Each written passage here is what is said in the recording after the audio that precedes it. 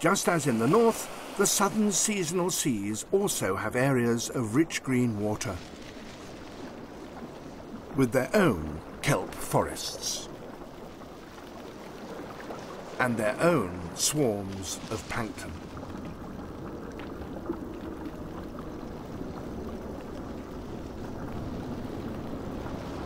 Some of the inhabitants of these seas live only in the southern hemisphere. This is one of them, the handfish that strolls around on modified fins.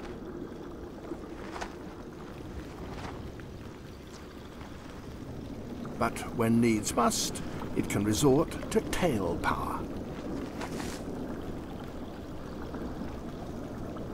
Every summer, visitors come to the shallows around Tasmania.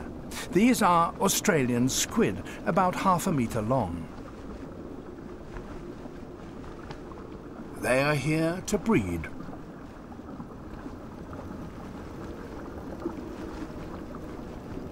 The larger males compete for the attentions of a female, displaying towards her and to one another by putting on a ballet, during which they continually change the colour of their costumes.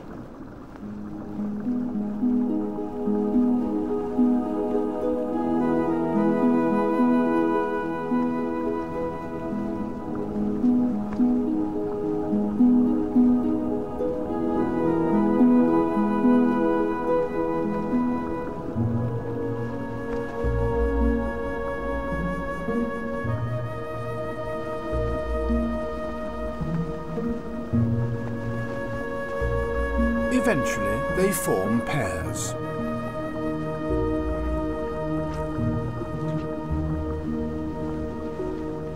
A male passes a packet of sperm across to the female.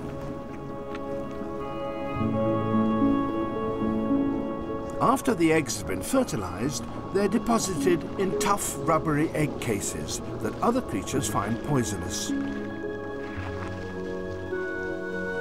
Within three weeks, the babies are ready to hatch out.